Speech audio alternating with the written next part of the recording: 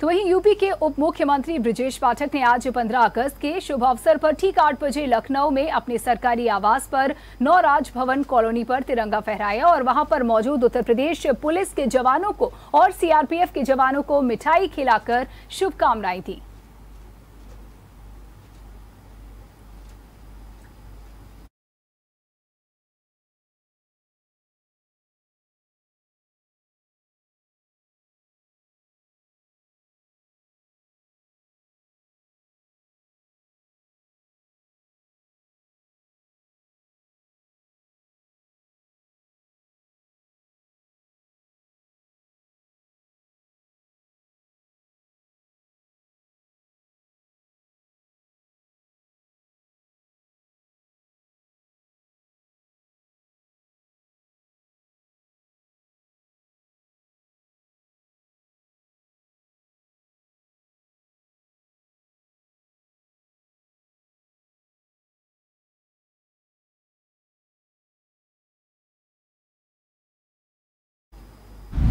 अगर आपको हमारा वीडियो पसंद आया हो तो हमें लाइक करें सब्सक्राइब करें और ज़्यादा से ज़्यादा शेयर करें। और हाँ बेल आइकॉन दबाना ना भूलें, ताकि हर खबर का अपडेट आप तक पहुँचे तुरंत।